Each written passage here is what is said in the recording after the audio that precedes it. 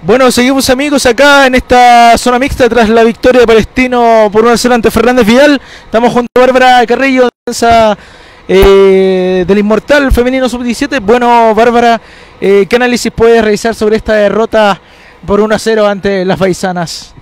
Eh, creo que fue un partido parejo, creo que entramos muy confiadas y por eso ella obtuvo la victoria.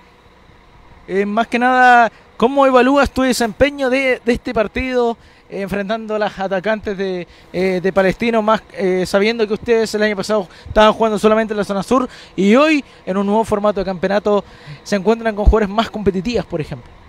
Eh, la verdad es que encuentro que todas lo dieron todo. Eh, el año pasado era más fácil, pero ahora creo que entramos muy confiados donde Palestino va último y creo que eso fue lo que marcó la diferencia, que iba último y entramos confiados. ¿Cómo es el, el día a día en el Fernández Vidal eh, con eh, José Espinosa, un entrenador eh, eh, motivador que siempre les enseña a, la- a las chicas a jugar, por ejemplo? Sí, el profe, un 7, siempre nos da apoyo, nos enseña todo. ¿Cuál es tu mayor motivación o sueño en el fútbol femenino? ¿Seguir Ligal, Vial, jugar por la Roja o en Europa?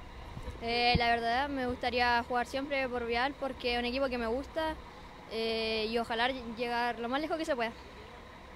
¿Algún, eh, ¿Y algún mensaje ya para ir eh, finalizando, Bárbara, para tus amigos, tus familiares o nuestro propio medio digital deportivo, Pasión de hincha tanto por Facebook como YouTube?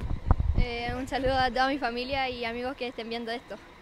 Muchas gracias, Bárbara, y todo el éxito del mundo para ti y toda la escuadra, Vialina. Gracias, igual a usted. De nada.